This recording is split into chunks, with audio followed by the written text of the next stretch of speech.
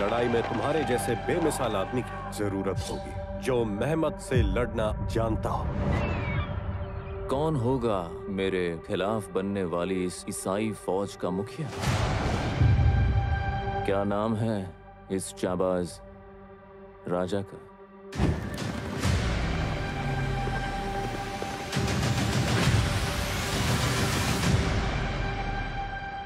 Vlad Dracula. अगर वो Europe में मेरी अड़चन बना तो मैं बर्दाश्त नहीं करूँगा। ये मेरा और व्लैड के बीच का मामला है।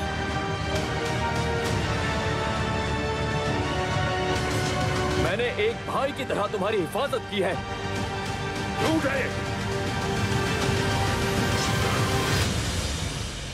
मैं फिर से मेहमत का कैदी नहीं बनना चाहूँगा।